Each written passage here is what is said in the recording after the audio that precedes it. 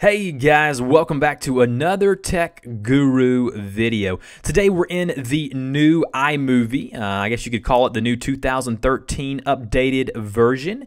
And a lot of people have been asking me how do I do certain things in this new version of iMovie. So we're going to start from the beginning and keep track of this series. And uh, I will show you more and more on how to work with the new iMovie uh, that has been updated this year in 2013. So let's go ahead and jump into it from the beginning. So this first video is going to be how to import video and get video footage into the new iMovie. So there are a number of ways of doing this and I'm going to show you the two easiest ways. The first thing you can do obviously is go up to File and then go down to Import Media and click that there. And once you've done that, you'll see this little import option come available to you. Over on the left, you will see a few different options. You can choose devices, whether it be your Mac hard drive, or your desktop, which is where a lot of my stuff is stored. And then I'll just go on down to where I may have some video by selecting the folder that it is in there. And once I've hit the down arrow and it shows some video there, I can click on that video. And once I'm done, go in the lower right hand corner to import selected. It should be highlighted in blue.